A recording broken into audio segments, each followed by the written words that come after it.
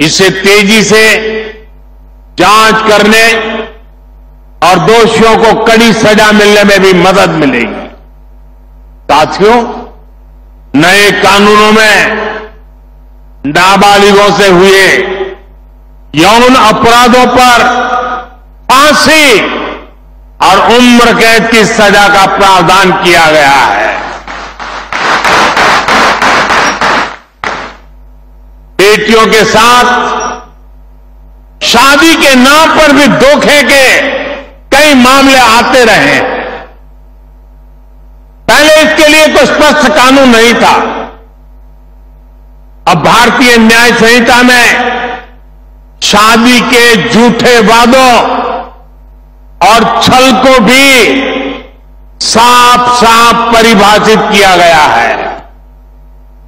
मैं आपको विश्वास दिलाता हूँ, केंद्र सरकार महिलाओं के खिलाफ अत्याचार रोकने के लिए हर तरीके से राज्य सरकारों के साथ है।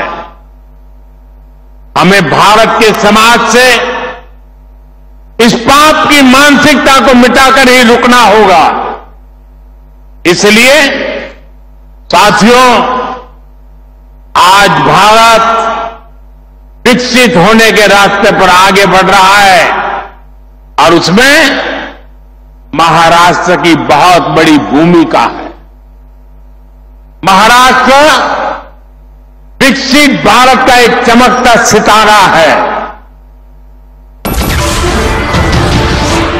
नमस्कार, मैं हूँ मानक गुप्ता। अगर आपको हमारा ये वीडियो पसंद आया हो तो इसे लाइक और शेयर ज़रूर करें। और हाँ हमें सब्सक्राइब और फॉलो करना ना भूलें, ताकि आप देश और दुनिया की कोई खबर मिस ना करें। तो जुड़े रहिए हमारे साथ और देखते रहिए न्यूज़ 24